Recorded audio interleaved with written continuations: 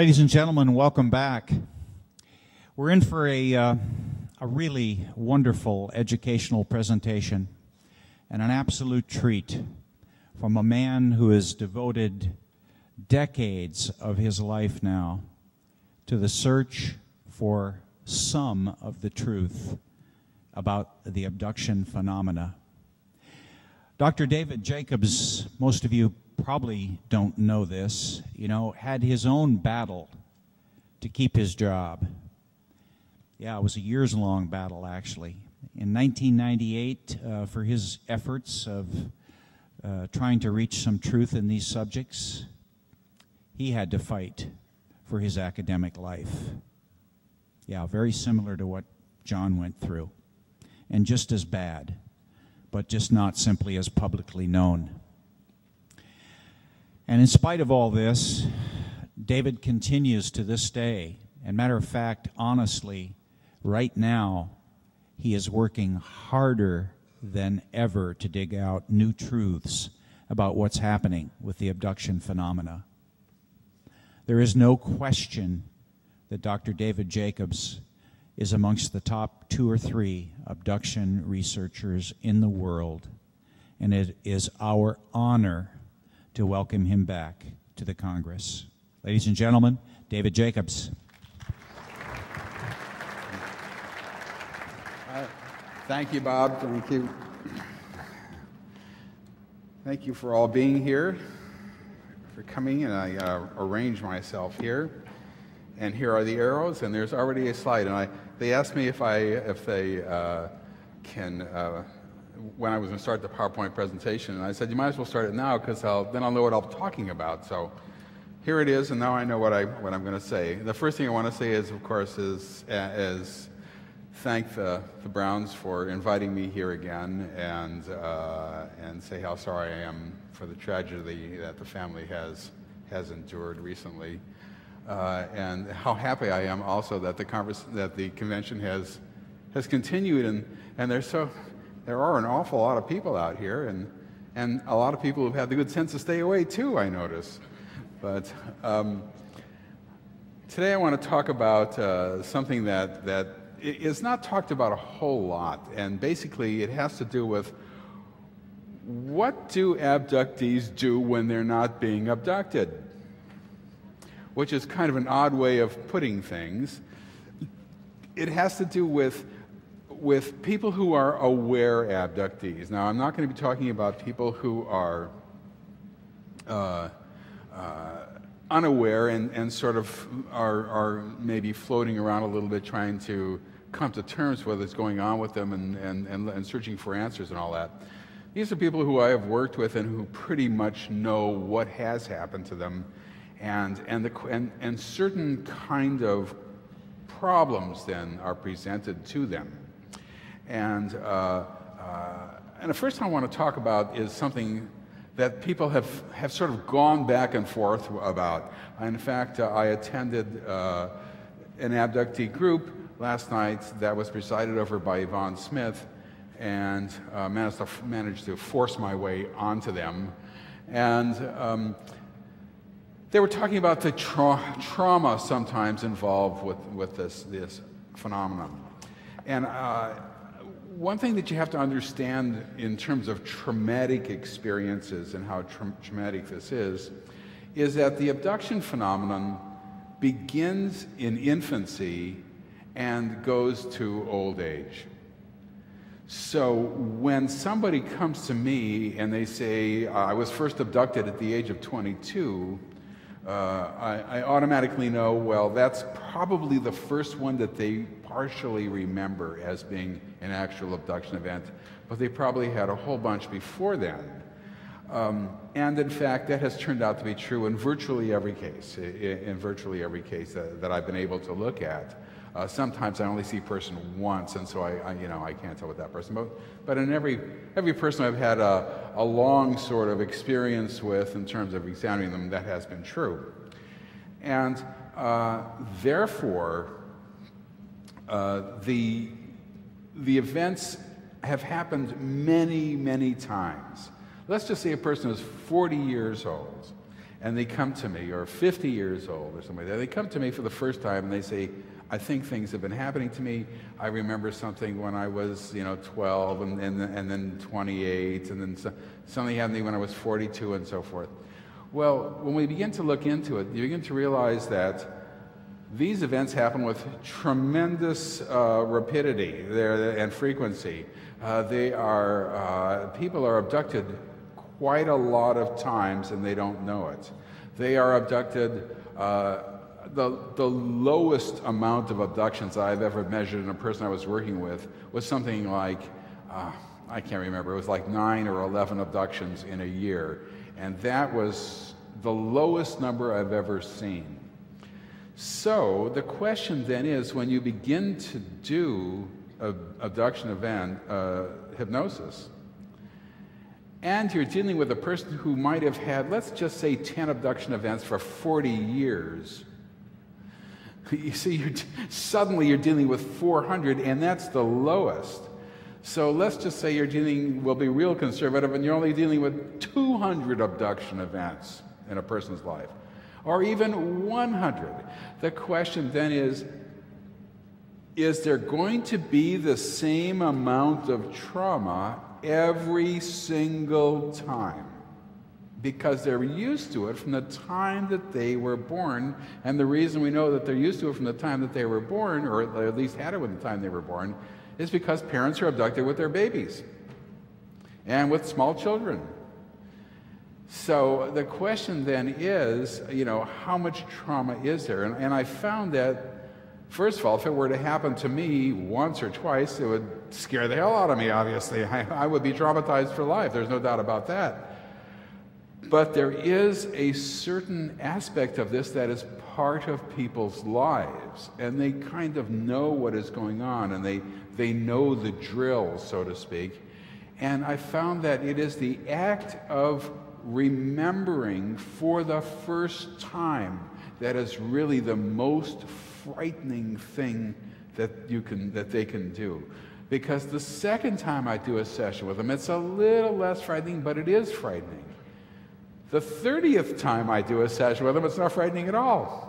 They just know what's going on. And, and so that, the, that, that sense of overwhelming trauma really doesn't exist for them. This is not to say that they're not scared or fearful, that is true. But, but, but there, these are traumatic events in large part through recall of them, and that can be overcome actually. Um, so, I'm not going to be talking about the trauma so much involved with it. I'm going to be talking about how, what happens to them in their normal life, lifespan, in their normal lifetime. Because these abductions obviously have enormous and important effect on their lives. One of the uh, greatest effects, of course, is just simply knowing that it's going on and knowing that you're a person who, is, who has a different life that you lead, in essence. One that is happening even unbeknownst to you in an odd way.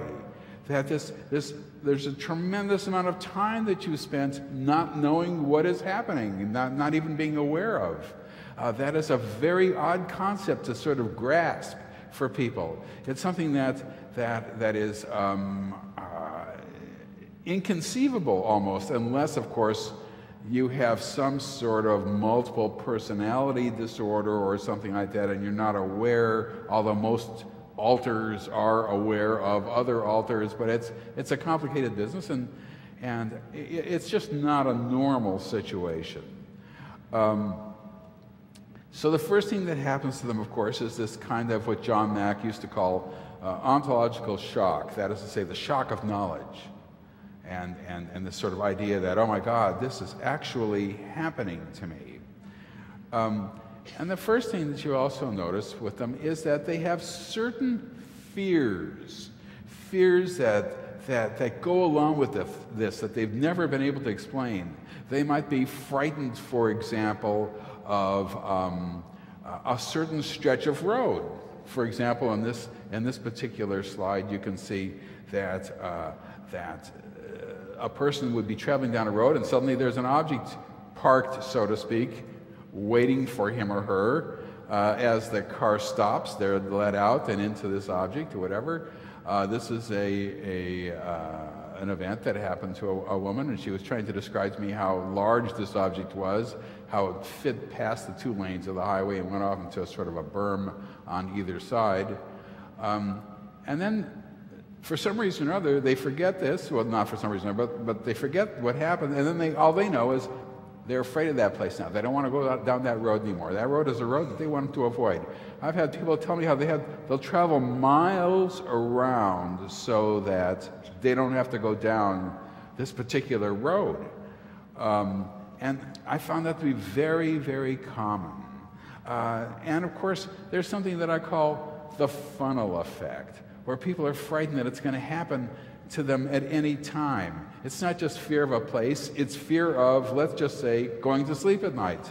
Because a minimum of 40% of all the abductions that I've looked at happen at night when people are sleeping.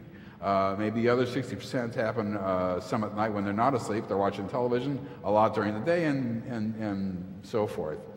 So, the first thing that happens is they think, uh-oh, I hear a noise. I hear a noise. A, it, there's a noise. It's, it's them. They're coming. They're, they're going to come after me. Uh, you know, and, and I got to get ready now. And, and, and then they, and I'm not going to go to sleep. And I'm, I'm going to sit up here and I'm going to wait and, it's, and I'm going to catch them. And, and then they sit up all night long and it doesn't happen.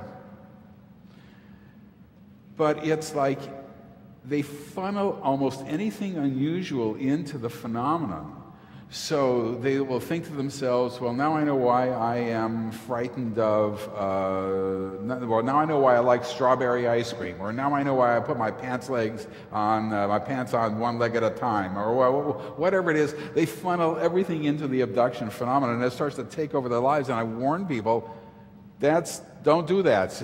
it's, it's, if you hear noises at night, it's just burglars. Go back to sleep. It's all right. Um, and uh, a lot of them sleep for, with protection. You know, they, they have guns under their pillows and knives and, and all the rest of this stuff. Uh, they, they can't sleep at all at night, so, or they, uh, so they, they sleep, they, they only go to sleep when the sun comes up. And even then, they sleep with the radio on, they sleep with the television on, they sleep with lights on if they do at night, and on and on and on. And, and it just, the whole thing can be very, very, very upsetting for their normal lives. Um, well, this fear of places, though, is, is actually an important one, and, and many, many, many abductees have it. They're afraid, afraid of their backyard, they're afraid of their basement, they're afraid of some odd room in their house. They don't want to go into the dining room or whatever. That's something they would never do. Uh, and, uh, and you get this whole sort of range of, of fears.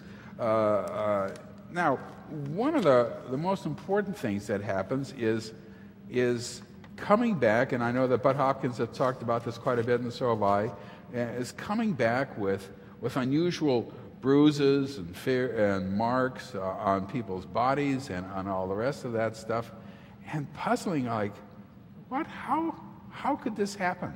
How did I ever, how did this happen? I, I have a slide somewhere here. Uh, we'll just here. This is a, just a straight puncture wound. Uh, this woman actually woke up with uh, about four on her face and several on her arms. And this is just a close up of a, a puncture wound on her arm. Uh, and here's a woman uh, who has, uh, it's, I don't know if that's, that's easy to see, but there's, there's bruising on her arm, inside her arm and on the outside. Actually, it was all over her arm. It was actually on both arms as well and there's a lot of bruising on her legs. And, and normally, if you're sleeping alone at night in your bed, in your feather bed, you're not going to get all bruised up. You're not going to wake up unless, of course, you've had abduction experiences where this is extremely common. Extremely common. Well, this can be taken actually into different areas. For example, uh, one time, a person was in, uh, came to my uh, uh, um, abduction group, and she had a broken wrist. Broken wrist. I said, "Well, how, how did that happen? You know, how, how'd you get?" And her answer was, I don't know. Well, that's not an answer a 40 year old person gives. You don't, if you were to break your wrist, you tend to remember what happened that would cause that. You know, it, it might stick in your mind. And uh, she said she just sort of woke up with it and it hurt like hell. And so she had to go to the doctor and there was a, there was a broken bone. And uh, of course, that's not possible because, once again, when you're asleep at night, you don't break your bones normally. I mean, at least it hasn't happened to me in a long time. But um, so we did a session on that, and um, and one of the things they did with her was they uh, these are hybrids now, and I'm going to be talking in large part about hybrids, but that is to say, a mixture of human and alien. And uh, I, a lot of people have been talking about this recently, and of course, it was discovered by Bud Hopkins uh, back in the early '80s, uh, and and it is it's a central feature of the abduction phenomenon, but Basically, they got angry at her for some reason or another, uh, primarily because she had been talking to me, and they did not want her to do that. And one of the things they do, and I've noticed in terms of trying to keep abductees what they call in compliance, is they have a certain modus operandi. There's a certain way in which they go about physically punishing people because they understand that physical punishment scares people to death. So they would push people down, push you down on the floor, and then pick up women, for example, by their hair. And they do other things as well. Well, they pushed her down. She fell back. And she put her arms out to break her fall, broke her wrist.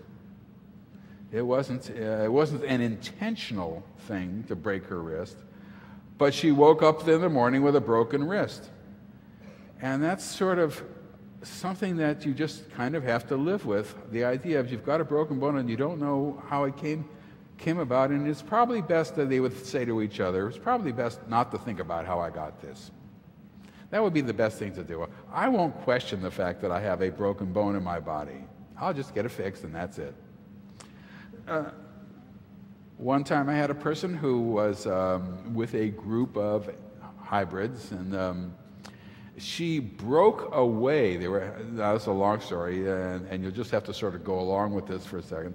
But this was years ago. She was in a car, and she managed to open the car door and run. And they were actually in a wooded area, and she fell. It was at night. She fell into a kind of ravine, broke her ankle.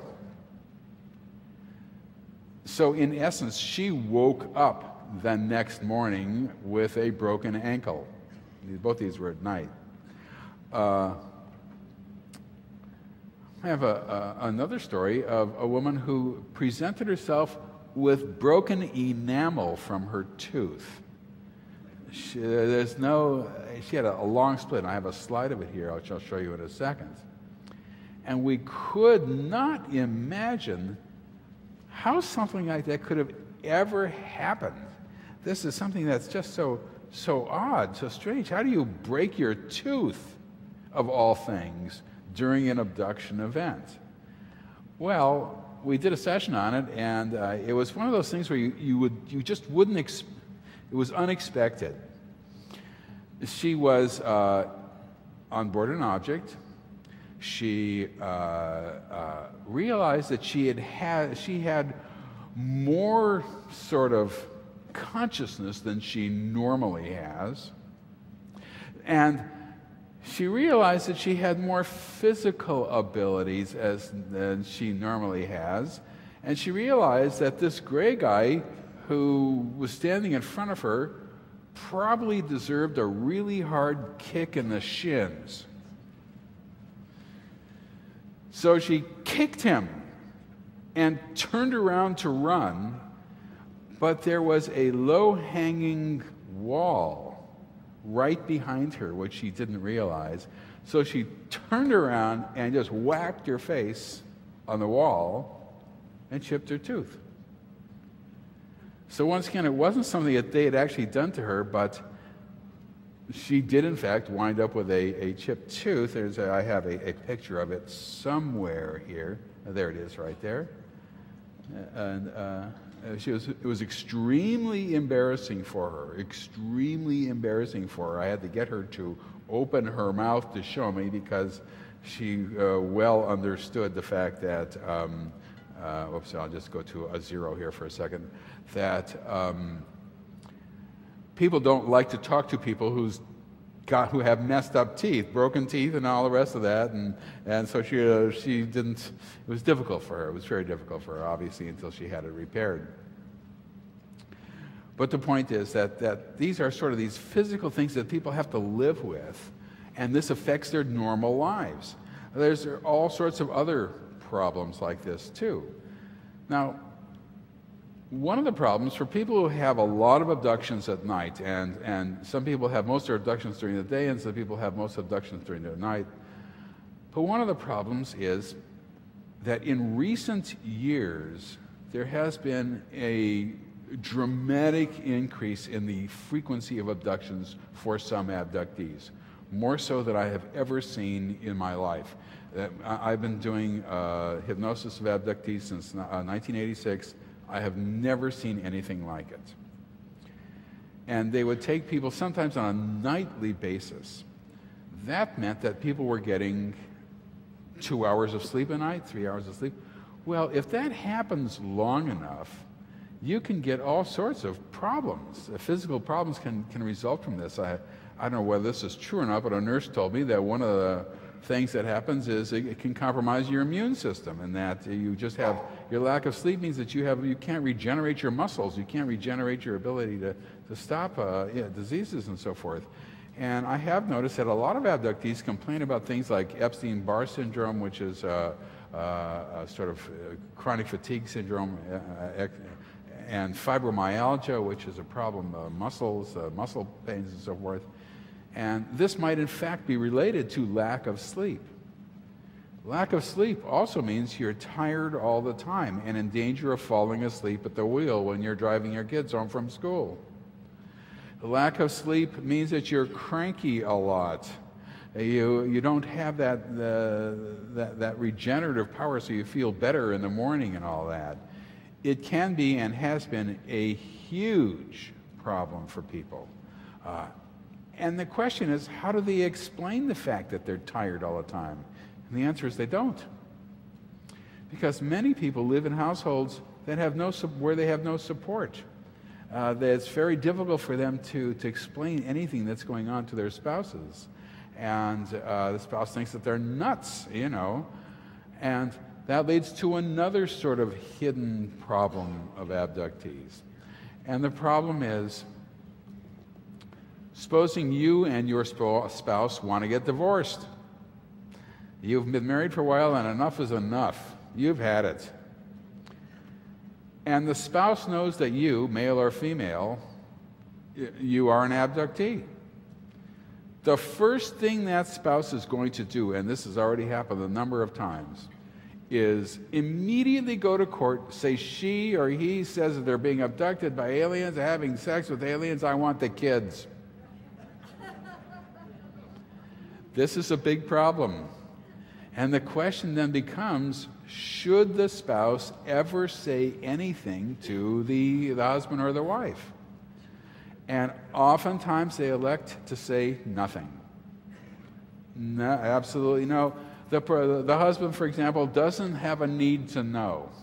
And, uh, and, and they don't. But the, then, whatever support the spouse can give is not there. So they can't rely on their husband or their wife to help them with this. All they can rely on is the fact that they're protecting themselves in the future in case anything uh, untoward happens, you know, and protecting the children and so forth. Uh, and this can be very, very difficult for people as well. Well, there are other th- odd things that you never would expect. Missing objects from the house if there's a lot of abduction activity, oftentimes uh, these beings, uh, uh, our special friends, as I call them, will take things. This one woman was telling me that she lost, she had this collection of comic books when she was a kid. And one day they were gone, and she blamed her brother. And she never got over it. She was always angry at her brother for years after that for stealing her comic books, although the comic books could not be found in the house. But she was certain her brother, who was this young kid, and she was young also, had done it. And she never got the comic books back. And we did a session uh, once where these beings came into the house and took her comic books for various reasons. We've seen this before. Took a stack of books, and including her comic books. And uh, she woke up and then they were gone, and that was that. For the next 20 years, it was lodged in her brain that her brother had done it. And then she said she'd have to, she's got to go to her brother and apologize now and say, yeah, this wasn't it. But it, it affected her family life. It doesn't seem like a big deal to us, but for her, it was a big deal. Here's another one that comes out of the blue hair cutting a woman will wake up and there's a lock of hair taken out, except that it is an enormous lie. It's a huge chunk. They have to go and get a haircut to match whatever was done to them because it looks like somebody cut a huge chunk of the hair out of their head, which they did, of course. But the question is, before they're aware of abductees, is who could have done it? Well, the only person who could have done it was their brother or their sister. And once again, they blame their sibling, you know, for doing this. And the sibling says, What are, what are you talking about? I didn't cut your hair. I, I, I'm, I'm innocent, you know. But they are the only people who could have done it. Therefore, they did do it. And therefore, they are lying. And this is, and for a, a younger girl to have a, a large chunk of hair cut out of her hair, this is a, a very, it's a big deal for anybody, obviously and it affects their lives. It affects their relationships with, with, with their families and all that. It does, and once again, it doesn't seem like much, but it causes fights and, and all sorts of other problems, and, and it's, it can be a, a serious situation. Well, some people will have these experiences and they just say to themselves, oh, this is just part of normal life. For example, uh, one time I was in the outer office of the history department, and I was talking about the subject, and a student came up to me and said, Oh, I didn't know you were interested in this. And I said, uh, Well, yeah, I got a passing interest in it, you know. And, and um, she said, uh, Well, uh, uh, I said, How, why? Have you ever seen a UFO, you know, or anything like that? And she said, Oh, yeah, oh, yeah, lots of times. I said, well, come on into my office and, and you know, we'll talk a little bit about it. Now, when a student comes into my office to talk about experiences or things that they've seen, uh, I remain poker faced throughout the whole thing. There's no way I'm ever going to say, oh, yeah, you're, you're, you're an abductee, you're one of them. I'm not going to I'm not gonna do that, obviously. I just listen and, and, and pass no judgment. But she told me the following story. She said when she was six years old, for some reason or another, she woke up in the middle of the night, she looked out, and she ran to the window and looked out the window. And out the window, and I'll, I'll give you an example of what this looks like, although this is not what happened, what she in fact saw as I go by these things here. Out the window, she could see a, uh, people uh, coming out of an object, and, uh, and, and they were small and they were gray, although this is not it, but it's something like that. And um, just as she was looking at this, her mother came running into the room, burst into the room saying, Hide, hide, they're going to get us, hide, hide. And that's the last thing she remembers. So I said to her, Well, how do you, how do you reconcile this? I mean, how do you, what do you think this was? And she said, Well, my mother explained to me at the time that this is just normal life. Everybody has these kinds of experiences. This is what goes on. This is what's be a part of being human. So she doesn't really think about it much because this is just what everybody has these things, you know. I said, okay. I'm not going to say no. That doesn't happen to everybody, and uh, uh, I just uh, because I'm poker faced. But um, but she was able to incorporate this into her life and live with it as a normal kind of situation. Uh, and oftentimes uh, there'll be a situation where they, people will see things in their house and uh, here's uh, this, this uh, being uh, standing in the, in the, in, the, living room, you know, and they'll in some way be able to reconcile this as just sort of another realm. There's like a, some, uh, some other kind of alternative reality that, they, that, that sometimes intrudes on them but doesn't bother them. Uh, here's another one in, in a bedroom situation where uh, this woman is lying in bed. She uh, drew this herself, of course, where these things happen, and all I remember is these little snippets, but it's okay. They're, they're, they're able to sort of get along with it. And yet, at the same time, they know that something is wrong, and they have this nagging feeling all the time, constantly, that, they, that something is off, something is different. When they then come to me and begin to, to examine these experiences, they, they realize that, that these things shouldn't be happening, that, that this is not sort of normal life and all that. Um, once they begin to realize what's going on, one of the things that happens is, of course, is that they become very frightened of other people finding out. Nobody should ever know this. This will make me look bad. I support this conclusion. I tell them, you have to be discreet. The main problem is the workplace. They go to work and they start telling their fellow workers, well, last night I, you know, I was on Mars or something like that. Then uh, uh, they're not going to have a job pretty soon. it's going to happen, uh, particularly if they continue to talk about it. and, and once you mention that you've been abducted, people don't forget that. That will stick in people's minds for as long as you ever work at that place. It'll never go away. So I tell them you have to be discreet. And in fact, I do have cases of people who were let go because they just talked about this subject a little too much and they were considered to be too odd by their other workers and it just wasn't the place for them and maybe they should seek their fortunes elsewhere. Uh, and uh, uh, so they have to be very, very careful and I emphasize the workplace. Telling their relatives might be a little safer, telling their friends is iffy. If they tell their friends, the question is how close are they to their friends? And will their friend really understand? And will they really have that friend very long?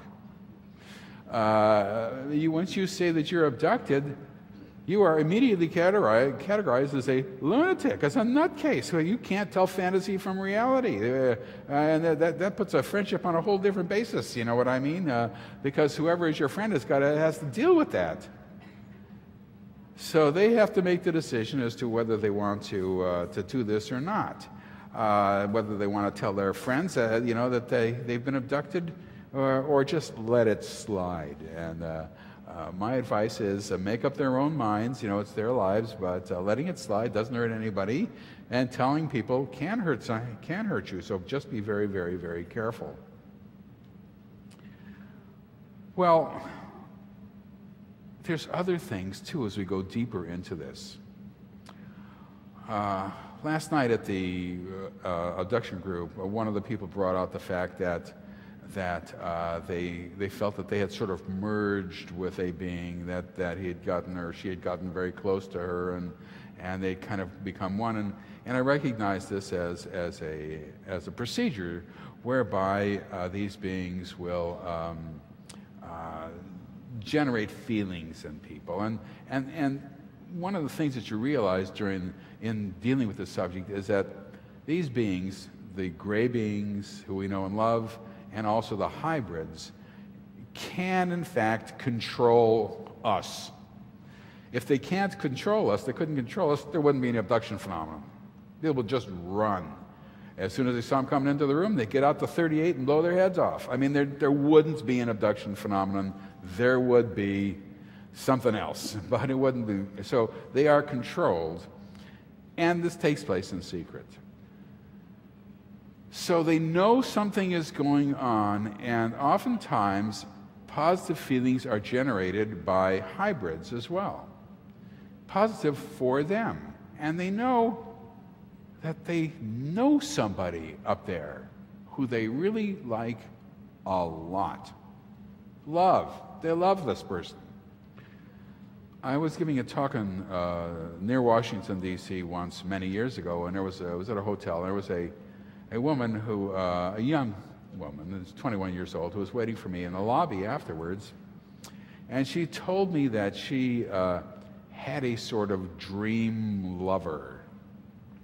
I said, Well, that's interesting. And, and she'd also had all these UFO sightings and these other weird experiences and so forth. But, but this dream lover had, was really bothering her. It was, it was something that she liked a lot, but she didn't want to deal with. And the problem was is that the dream lover uh, had gotten to the point where she was doing nothing but waiting for him to come. And she had no social life anymore. She had broken off from everybody. She didn't go out with anybody.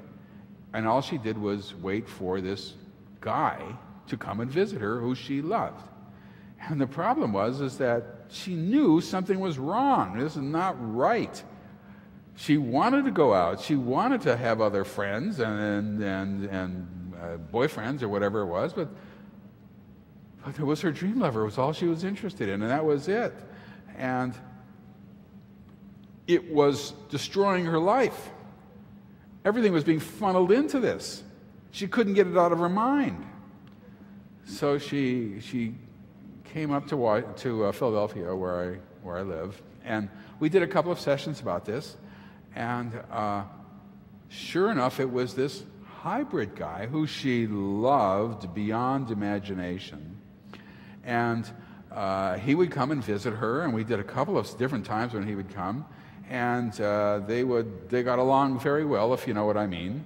And, uh, uh, and, they, uh, and then he would leave, and, and she was sad, and etc. And there was another problem and the other problem was that she was African American and the hybrid was not. And this put up conflicts in her own mind of, of, of, of uh, all sorts of things that she'd been brought up to, to sort of agree with, and, and, and she always assumed that she would marry another African American guy and so forth. And, and, and this was very conflicting to her. Uh, and, uh, and yet she loved him. And I had to explain to her look it, you're entitled to your own life. Uh, you know, you're, you're entitled to get married. You're entitled to have kids. This is you're, you're a human being. You, you know, this is what you what you want to strive for. You're entitled to lead a normal life, because what's happening here is not your call. This is not your this is not your your your decision. This is not your choice. This is something that they are doing to you for their particular purposes, whether you love it or not. You still can't say no. And, um, and uh, I don't know whether what happened. She, uh, it, it, coming up was very difficult for her, so she, she didn't, uh, we didn't do many sessions. But the fact was that, that this very sort of nice situation in, in, on one level was in the process of really kind of truncating her ability to have a normal social life and go out with her friends and, and meet guys and all the rest of that stuff, you know. And, and it's, it's odd. You wouldn't, you wouldn't normally think that something like that would happen as we just, uh, oh, here's another slide where this is a situation here where it's the same kind of thing.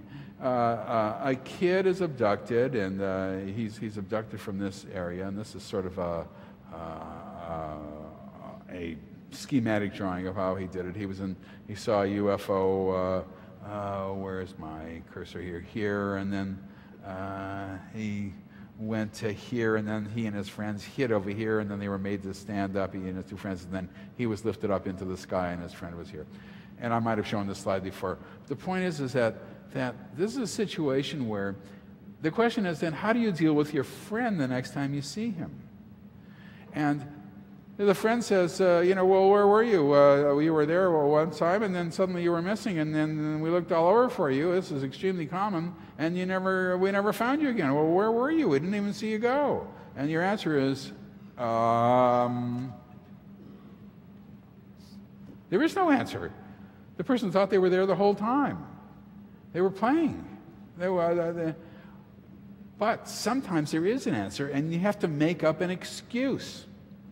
Oh well, uh, I, I had to uh, um, I, I, I, had to go over a little ridge, and then I saw uh, a friend of mine who said that my mother was looking for me, so I just went home. That would be an excuse that is not true, but it seemed like seems like the right thing to say, so you don't have to confront the idea that you were missing and people noticed it and looked for you. Uh, if this happens enough, you've got to start making up a lot of excuses becomes bothersome. There are other sort of, as we go more and deeper and deeper into this, into the hidden world of abductees, uh, you have situations whereby uh, sometimes kids are abducted from school and they don't know where they were. And they come back. I have this one woman uh, who uh, lives in Scotland who was abducted during recess and then brought back maybe 45 minutes later, but school had already begun 15 minutes beforehand. Uh, the classes had begun, and she found herself in the hallway without a hall pass, in other words, without permission, and was immediately accosted by a teacher because she, had, uh, she was uh, out of class. She had no idea where she was or why she was out of class and couldn't explain it to the teacher, who used corporal punishment on her, beating her about the legs, as I remember, uh, for, as her punishment.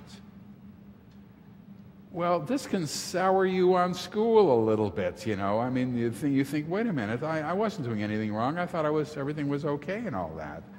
Um, so this can be particularly uh, difficult.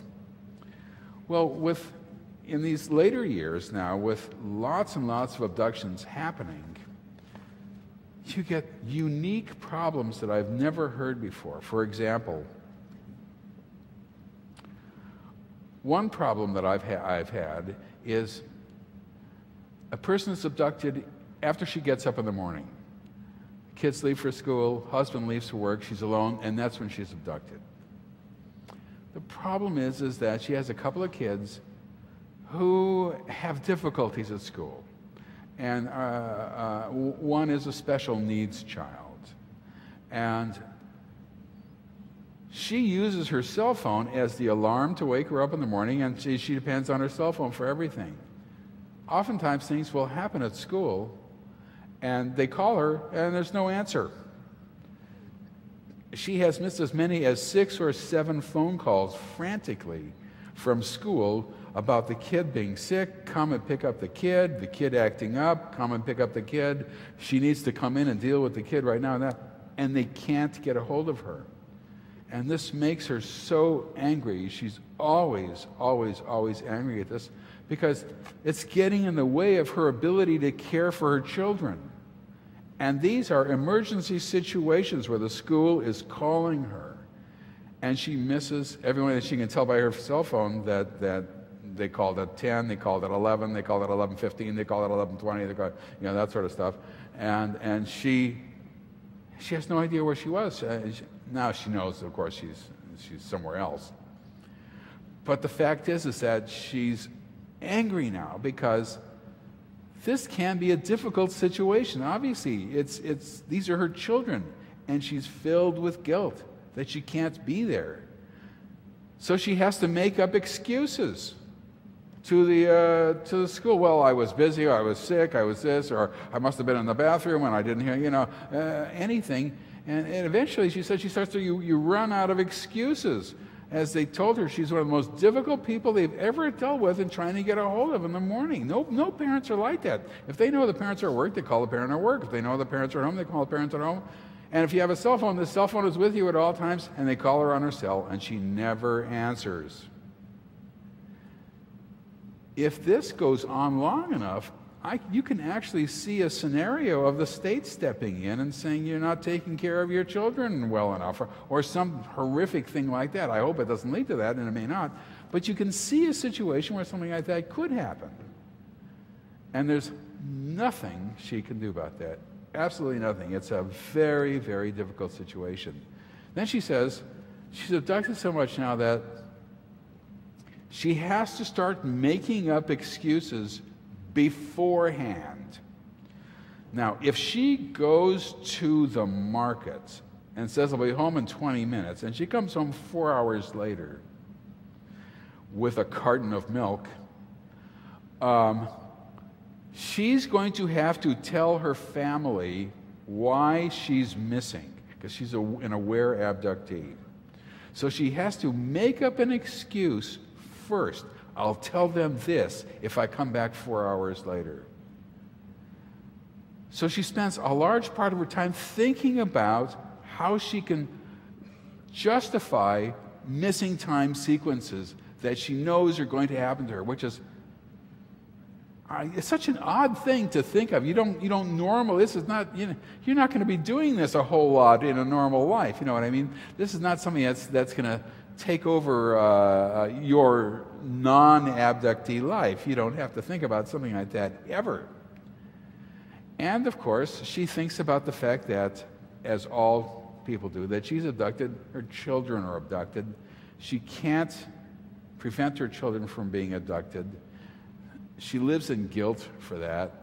And of course, kids when they're abducted, and I've dealt with a lot of people who, you know, who had abduct, childhood abductions, obviously, and oftentimes they feel angry that, that their mother or their father or both parents can't protect them from being abducted as well.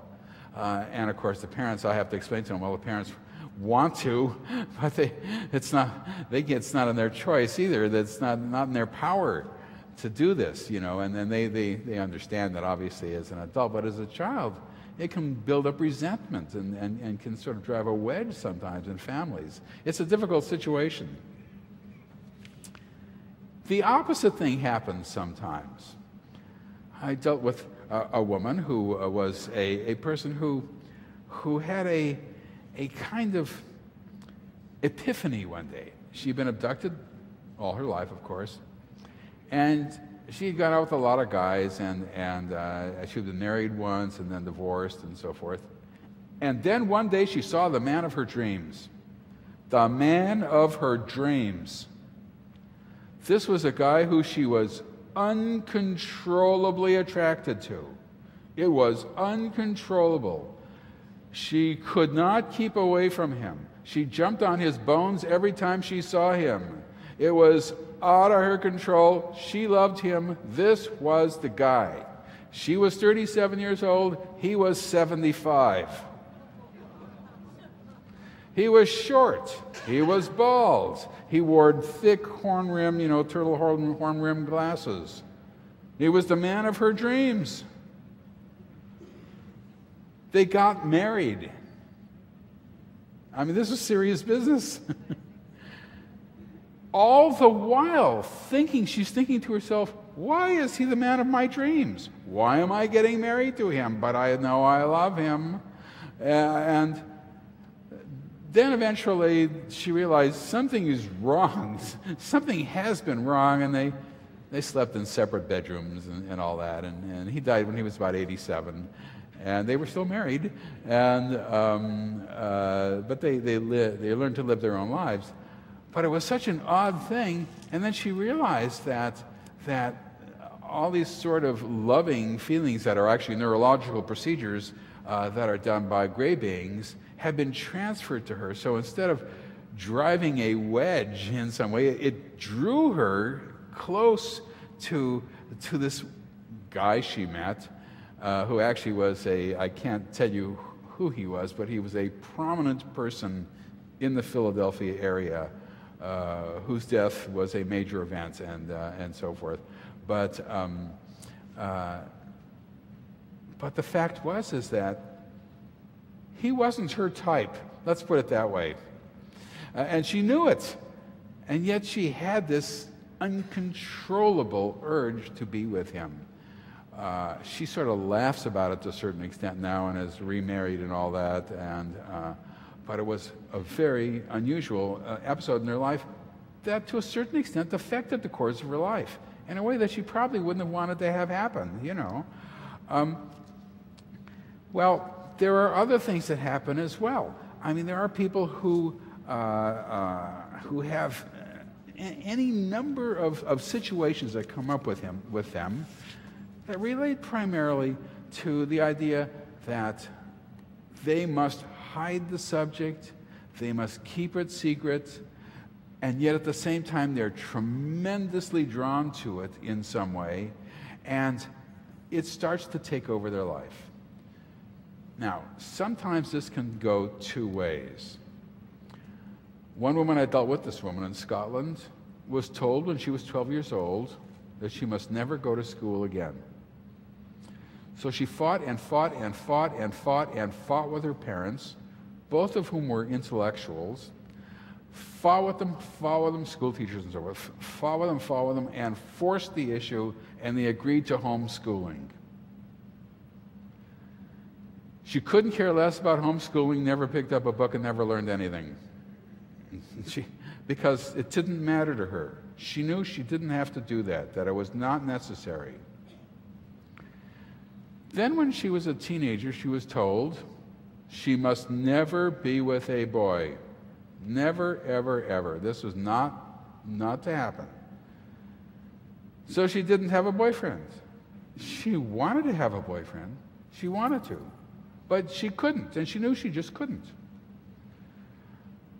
Eventually, she fought it and fought it and fought it, and she got married. And then the marriage lasted for about five years or so, and then, and then they were divorced, and, and they're still on amicable terms. But she was sort of relieved. Although the guy was a pretty nice guy, apparently, she was relieved to be not married. It wasn't that she was relieved to be divorced from him, she was relieved to be not married again and, and free and single. And then she was told she must never have kids. And in fact, she tried to have kids, and it was unfortunate. She had several miscarriages, and, and uh, uh, uh, it was a, an awful situation. But she then became sort of independent. Then she, she, she has disability problems, and she's on disability, and uh, she lives alone. And the amount of abductions that have occurred to her has been just unbelievable.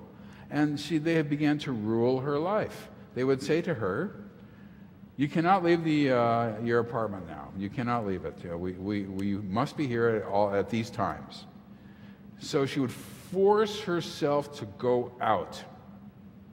And she'd walk down to this main street where she lived nearby, and she'd go shopping or something like that. And then she'd come back, and they would be really angry. We told you not to do that. That was not right. You cannot do that. That was not good. That was bad. Then one day she'd get the urge she must leave the, uh, her apartment. Now she must leave. So she would walk down and just walk around, and she would go here and there, but no, I have no reason why, she was there. And then one time she tried to come home, but she knew it was too early to come home.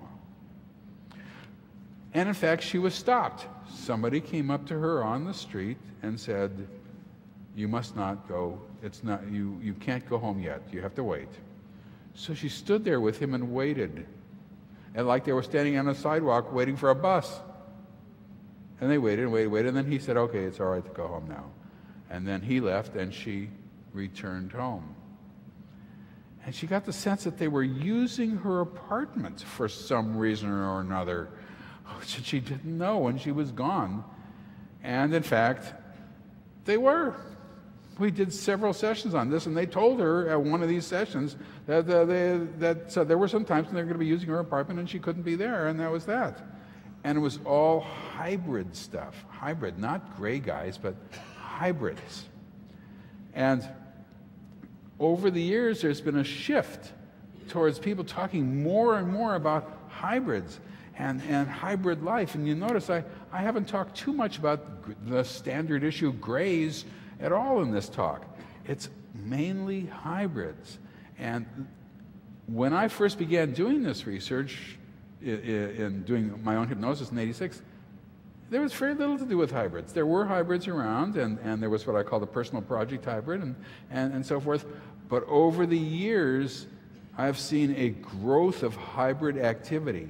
It started out primarily with doing procedures, helping the gray aliens do things, coming down, getting people, getting them up, getting their clothes on, the, off rather, and doing this and doing that, and so forth uh, during the abduction sequence. Then I began to find uh, abductions where there was quite a lot of hybrid activity. Where, where there were hybrids who were really, you know, were not just helping, they were actually doing a lot of the, some of the procedures. And of course, the Greys were there, and the Greys were helping this, and the Greys were doing this, and the Greys were doing that. Then people began to tell me, and this was already uh, 10 years ago, that, they were, that there were whole abduction sequences with nothing but hybrids, conducted by nothing but hybrids. That's all there were, was just hybrids doing everything, and there weren't any grays around at all. I thought, I think I'm spotting a trend.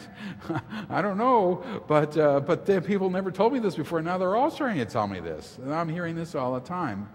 And now I'm hearing all these other stories where hybrids are in their apartments, and hybrids are in their homes, and hybrids are taking stuff from their homes, and they're doing this with hybrids, and they're doing that with hybrids.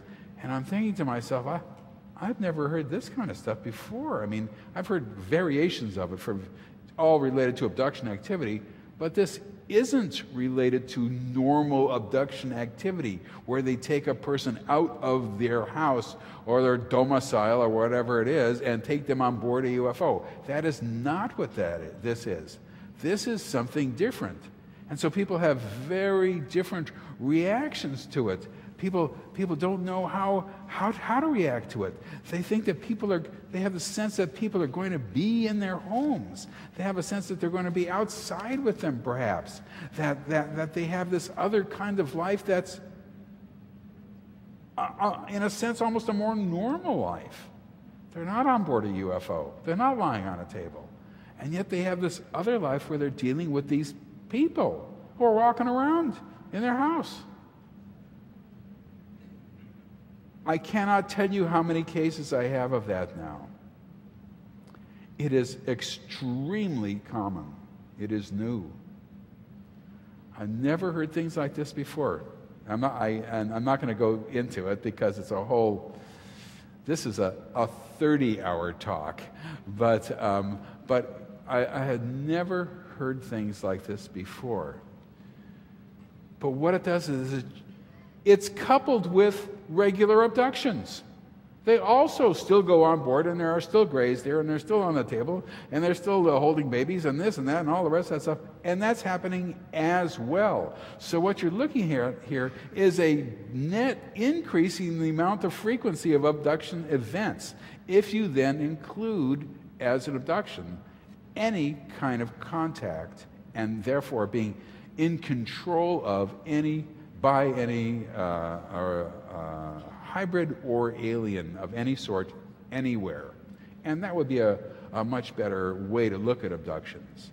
It doesn't have to be an actual abduction on board an object, it can simply be in the control of a hybrid.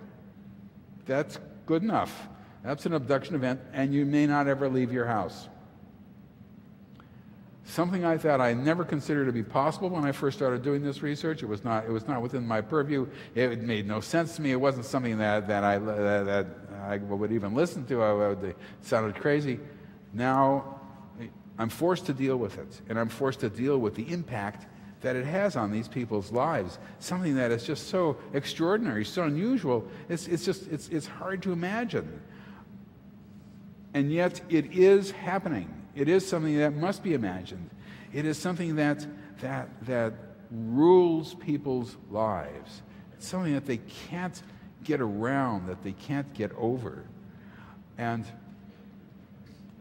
it even goes further than that as we go deeper and deeper into this. It is the fact that when they start to talk about this subject, there is a much greater increase in the problem of secrecy. Talking about hybrids walking around in their house or outside or wherever it is has suddenly become an enormously big deal. They are therefore not in compliance because compliance means not talking about this now. In the old days, a couple of years ago, people would say, You know, I'm, I'm remembering everything, I'm telling it to Dave Jacobs. And they'd say, Well, that's not good. That's bad. Don't do that. He's, he's not a good person. Eh, don't tell him anything. You're endangering future generations. Now get on the table. Now, now they say, you are not to do that under any circumstances. You are not in compliance. This is not allowed. We will punish you if you do this. This is bad. You must not tell this to anyone, ever. If you continue to do this, we will take measures against you. Now you have this whole world of measures against them for disclosing, for not being in compliance, for acting as they say, as for, for betraying them. This is betrayal. Well, you push them to the ground, to the floor, you pick them up by their hair. Okay, that we know. You kick them on their legs so they get bruising on their legs. I've seen that quite a bit when they're on the floor. You twist their arms, causing bruising to their arms. You do things that aren't really going to cause any permanent damage to them, but scare them to death. If they continue to disclose, talk with me, for instance, or other researchers, well, other measures can be taken. You can threaten them. Threaten them with death. Why not? Get to threaten them, you might as well go all the way. We'll kill you. Well, killing one would be counterproductive, it seems to me. I mean, if, if they have a lifetime invested in them and they're trying to get them to do all sorts of things, then, they, then the best thing to do is just to leave them alone and go about their business, and, and, and that's it. Killing them would be losing one that they have invested uh, a lot of energy and time. So that's probably never going to happen. But the abductee doesn't know that. We will kill your children we will, you know how we've had uh, relations with you? Well, here's your 14 year old daughter. We're going to do that to her. Do you want that done to her? Uh, these oftentimes work. These are direct threats of violence and sexual assault on people. Now, for the woman who lives in Scotland who has no kids and who has no family and no, no friends really, no family, they, they look at their family pictures and they say her mother and her father are still alive. We'll, we will kill your mother and your father. We'll kill you, then we'll kill your mother and your father. And, uh, and, um, and of course, there's threats on the person she's disclosing to, known as me. We will kill him. He will die. And she'll see images of me floating face down in a pool of water. And I realized, what kind of image is that? And the answer is, they don't know what I look like. she lives in Scotland. never, I've never met her. so, so she's, I'm facing face, floating face down in a pool of water, dead, and it'll be her fault. She caused it. She is the one who's the guilty one because she was not in compliance. I've had several people talk to me about these threats on me uh, and how, the, how guilty they feel talking to me now because they know that they might bring some sort of threat on me. And, uh, and I must say, I, I tend to take these things seriously sometimes myself. It's, it has been a, a little bit of a wild ride that I've been on uh, for both me and for my wife, something that uh, we, we, we never really expected. And uh, um, but then just talking to me brings up guilt in them. Guilt. She, should they be saying this to me? Should they be, should they be disclosing this to me? They're putting me in danger, and I have to assure them, oh, that's ridiculous. You're not putting me in danger. Boy, that's nonsense. And the answer is, I don't know. Maybe they are. You know, I, mean, I can't guarantee that for myself. Uh, but, but I can't let them feel guilty, obviously, obvi- for, for anything like that. Uh, so they have to, they have to, they have this whole range, this world that they live in. It's not just that you're an abductee, it's that there's this world of events that's happening that are extremely important, that have to do with you and your family and missing time sequences and, and missing calls from school and, and, and, and falling in love with people who you don't want to fall in love with and, and, and, and having dream lovers. And, and this is this, the world of abductees. It's, it's not like you just happen to be in the wrong place at the wrong time. There's, there's a whole different sort of worldview involved with it. So people who are aware abductees, who know what's happening to them, and that's, that's really the critical thing, who know what's happening to them, are also uncovering this world that they have to live in. And the question then is, of course, the ethical question is, am I, am I doing the right thing by doing this or not? You know, I mean, should, maybe, maybe ignorance is bliss. Maybe they shouldn't know anything about this. Maybe, maybe they'd be better off just leading their normal lives and not and wondering why they're never around to answer the phone and, and not knowing, you know. Uh, that's, that's, that's something that's, um, that's, that, that's my own moral dilemma, and I, I, sort of leave it up to them. You know, we, we can stop anytime you want, and you know, you know, maybe it is better not to know this, and they, you know, they want to go forward, and that's okay with me. But it is uh, a little bit of a moral problem. So, to sum up, it's not a situation that uh, that uh, one would normally assume. It's not something people who are abducted don't normally have uh, just abductions and that's it, and they go about and they lead a normal life there's this whole world that they have entered into, and they entered into it as children, as babies, essentially, that they have lived in all their lives.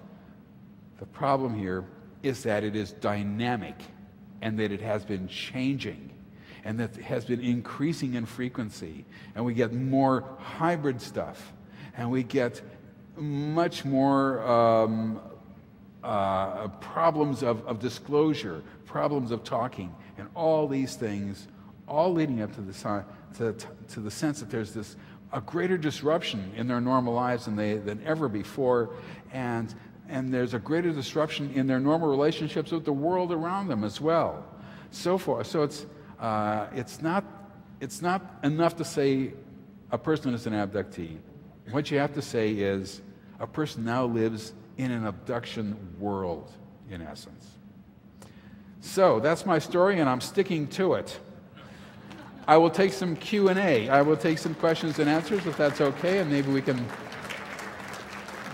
Thank you, thank, thank you. Maybe we can have the lights on, and, and, and if anybody has any questions, we can, we can sort of deal with that. Yeah, if we can have lights on, of course. Ah, much better, much better, much better. Thank you. These lights are, are very, very bright. That's why I was looking over there most of the time because I look over there, it's like, Testing. A question. A question. Uh, in past readings, past conferences, perhaps from you or for Dr. Mack, we heard that it's possible to resist. That is, can if you find someone a hybrid in your house, can you tell them to get out? The question is if you find a hybrid in the house, can you tell them to get out? Can you resist? The answer is yes and no. Resistance does not, when people resist, you're dealing with a certain kind of behavior that is, I think, genetic as opposed to willful. Most people don't resist anything ever at any time and just go along with whatever it is and they can't. They want to, but they, they can't. They don't even occur to them, you know. The ones, some of the people I've dealt with are natural born resistors. And they'll say, and, and, and they'll say, get up on a table. And they'll say, no, I'm not going to get up on a table. And then they have to be forced to get up on the table. Or else they'll have to be calmed down neurologically, and then they get up on the table.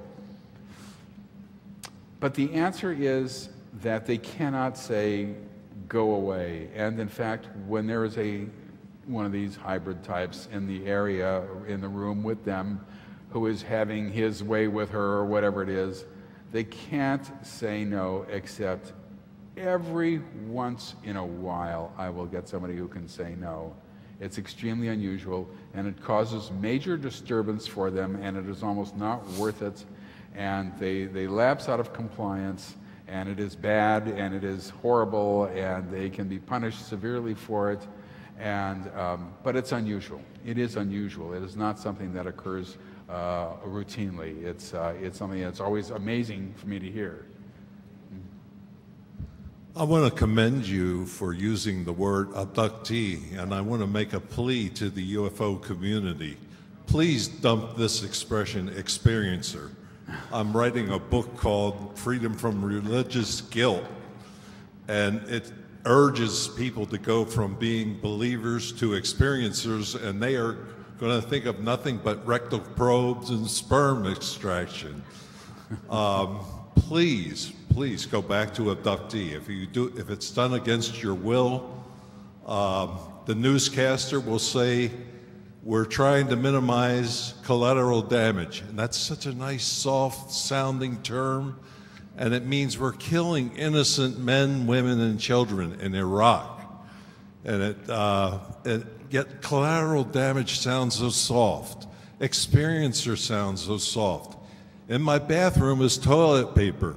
It's not bathroom tissue. So please, I plead with you to get back to uh, abductee, and I commend you once again. Well, thank you. Eh, it's it, believe me, it's it's not something that I that I think a lot about. I just I grew up with the word, and it's and and I never quite got used to experiencer, eh, and the whole the whole concept of, of using that word as an experiencer is, uh, has a long and jaded history, and it was, it was actually formulated as an attack, essentially, on people who felt that the phenomenon was not in the best interests of people, let's put it that way. And, and when you change it from abductee to experiencer, well, anybody can experience sort of anything. I mean, if you do go on a river raft, well, that's an experience. Uh, but I never liked the word abductee there's something harsh about it. There's something, uh, I, I, don't, I don't like it. And in fact, in, the, in the mid 80s, I was at a conference where a group of people uh, who were abductees and other researchers got together and tried to figure out what, this is before the word experiencer came up, try to figure out what other word can we use other than abductee because you can't just define a person by the fact that they're taken up. You know, that's that their whole definition of this person is an abductee. It's, it's not, not right.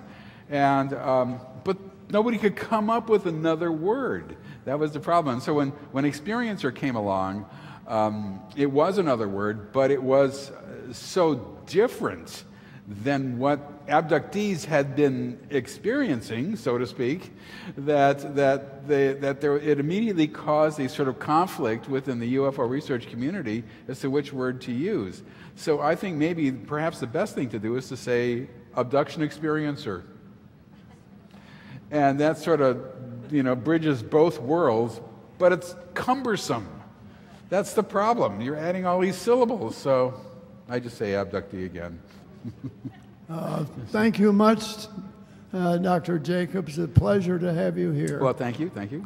Um, some years ago in the MUFON Journal was a experiencer who was an abductee, and he had a helmet uh, that went over your head at night, and he claimed that this helmet with the right stuff in it would prevent uh, being an abductee. And he asked for people to come forward and uh, just ask for the uh, helmet, as you right. know about it.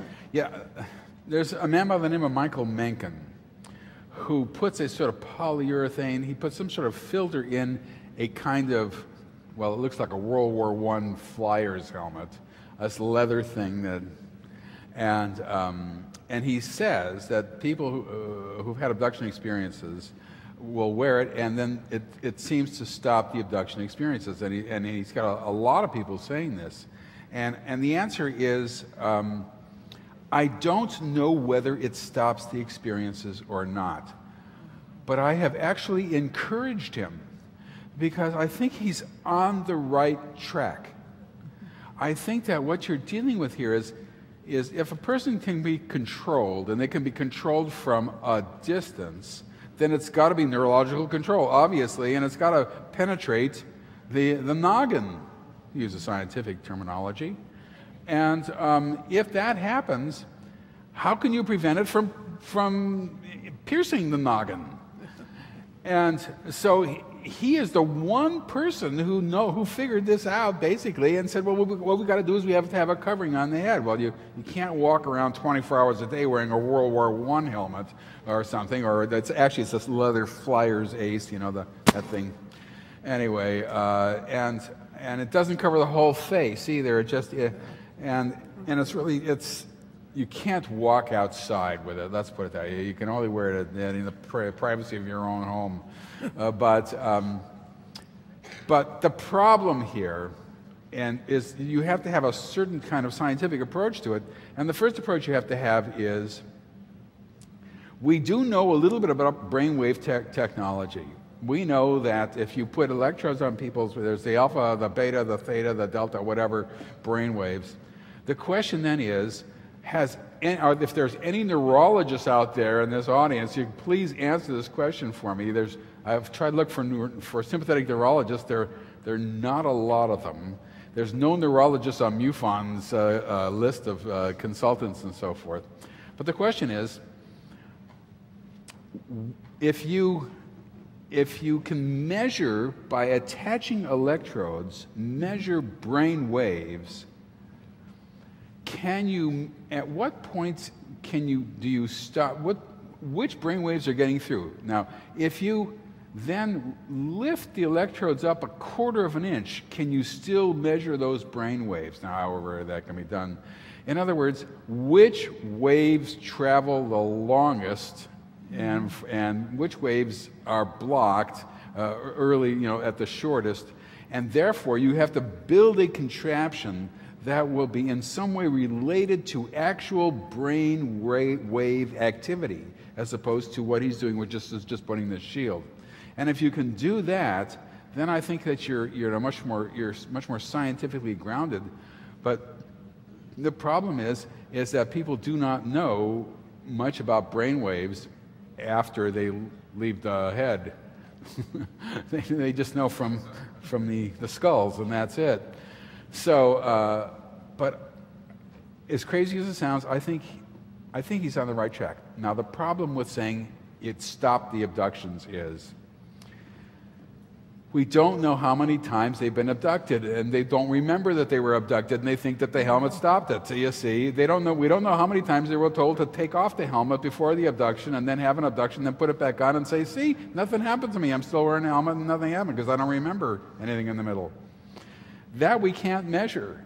So even when you get the anecdotal evidence out that yes, it stops it, I also have people who say I couldn't wear it. I was forced to take it off. And I also have people say it doesn't matter. And I, but, but he's on to something, which is why Thank I still you. encouraged him. He's on to something. Thank you for your presentation, Dr. Jacobs. Uh, my question is regarding, I know that you've been doing this for at least 10 years, 12 years, how many years? How many, have, how, how many years have I been doing this? I'm doing abduction and UFO research for 41 years and doing abduction research uh, uh, starting without abductions in, since 1982 and abduction regression since 1986. Over that time period, you've had literally thousands of stories told to you. That is correct, yeah. And well, I, not exactly thousands, but over a thousand anyway. Okay. What I would like to know is over, that, well, let me just say over a thousand. I've investigated myself thousands and tens and tens of thousands told to me. Yes, but not that I've investigated. My question is that you have a lot of anecdotal stories, etc. Uh, what I would like to know is, after hearing all these stories, what do you personally feel is the agenda of the abductors? Well, actually, I can, I can talk about that to a certain extent because I wrote that in my book, The Threat. And uh, I, this was the book. The book came out in '98, so it's uh, it's. Uh, I, you would think it's a little long in the tooth, but actually, it's. I reread it uh, recently in light of the previous years of knowledge that I've had, and it's not bad, pretty good. And uh, what I decided in that book was that this is a phenomenon that is not an, a, an experiment. That it is not a learning situation, that it is not uh, uh, something where they just need to know about us, so they, they grab somebody and they examine them and they look at their feelings and they look at their this and they look at their that and whatever else they look at and all the rest of that stuff. This is uh, much more, much different than that. This is, in fact, a program. And as a program, it is administered almost assembly line fashion on one level and uh, people are abducted all throughout the course of their lives and have been probably since the 1890s. Uh, and as a program, it has a beginning, a middle, and an end. And it's goal directed. And it's secret. and the, there's one reason, I have a whole chapter on secrecy in there for various reasons. I know a lot more about secrecy now than I ever knew. But the, the, chapter that I did on secrecy, and there was one of my proudest chapters. Nobody ever said a word about it, I'm ashamed to say. But, uh, but uh, was to protect the fetus and to protect the program and to ensure the, the longevity of the program and, and all the rest of that stuff. The point is, is that the, that the um, secrecy program is extremely important. And without secrecy, once again, there'd be no abduction phenomenon. We'd know it, and they were coming, and, uh, and we'd get them. Uh, but the point is, is that they don't want us to know what they are doing. That is the bottom line. That is simply not an arguable. It's not arguable. They are secret because they don't want us to know what they're doing. Period. That is the bottom line. Maybe they're doing something wonderful and great and terrific, but they still don't want us to know. That's why it's secret. And um, uh, so, this is a program that is leading to goals that they don't want us to, uh, to know. Uh, otherwise, we wouldn't have spent all these years trying to figure it out, you know.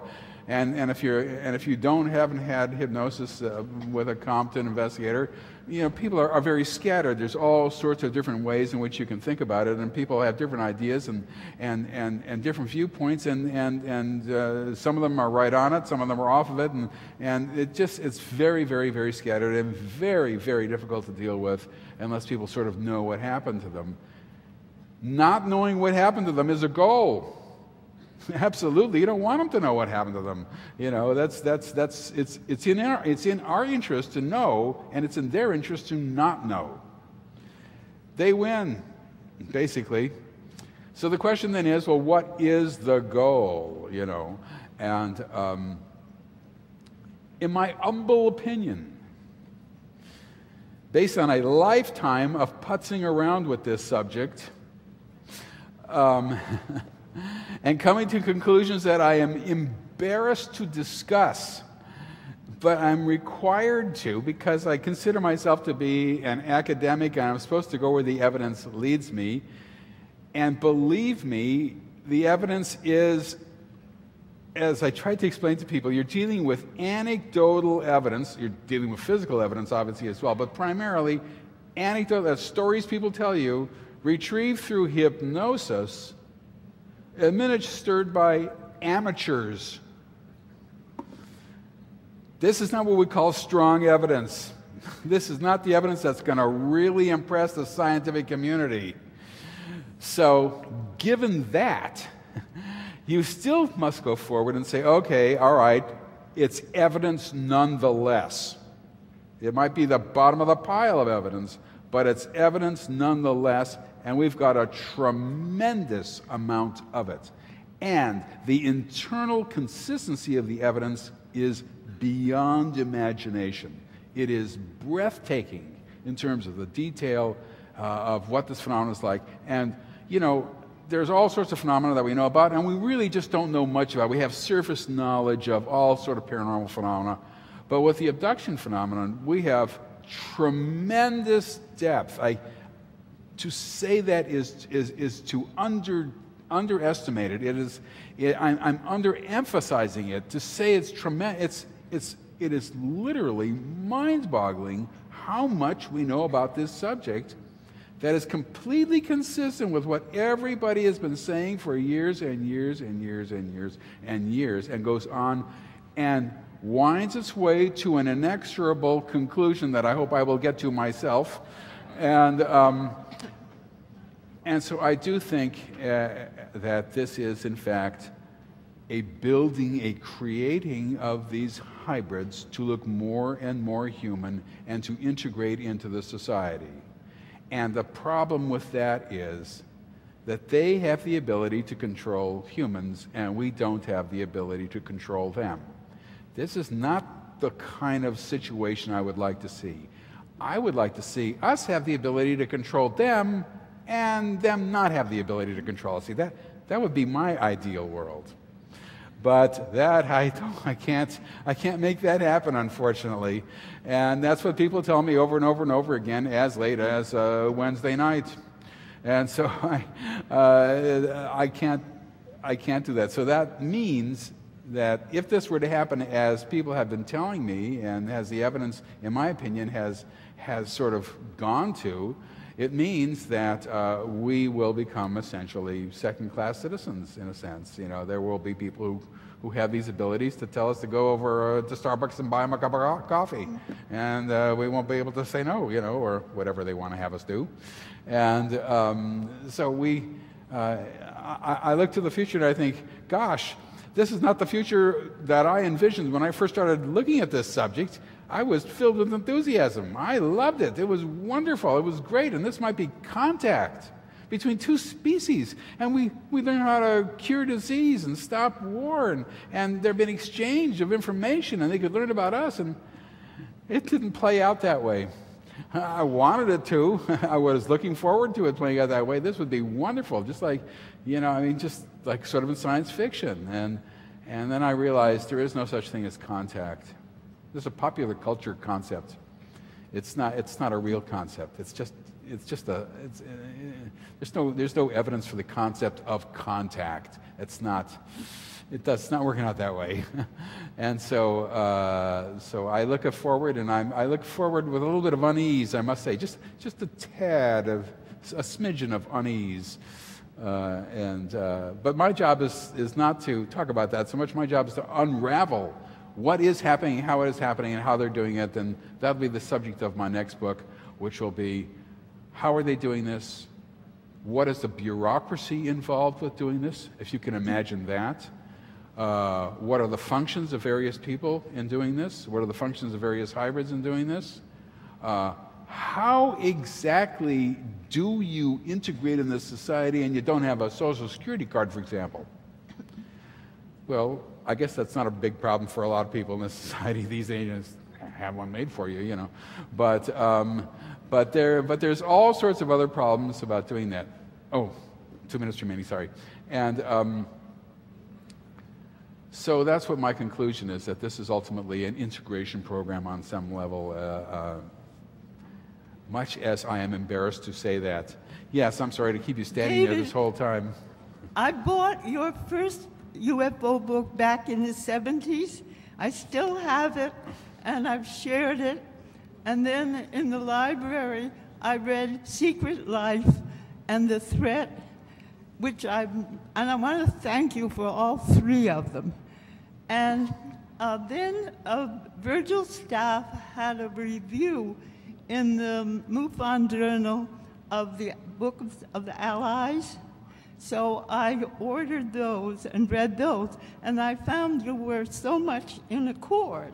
And, I, and they told me you didn't want to read it well, I know I read the channels, I, and I wondered if you ever did. Uh, the question is about the uh, Marshall uh, Vian Summers and the uh, Allies of Humanity. I see I only have one, one minute left. This is what's called revealed knowledge. This is channeled knowledge, as he, as he readily admits. And we found that, that with channeled knowledge, there, it's sort of all over the place. It's just everywhere. And when you get everything all over the place, every once in a while you're going to get a hit. It's, it's the law of averages, you know. And so uh, what happened is he got a hit and, uh, and he is sort of uh, similar to mine, but um, I, I, would be exceptionally careful with any kind of revealed knowledge. Thank you. I'm getting the wrap it up sign. Thank you very much. I appreciate it.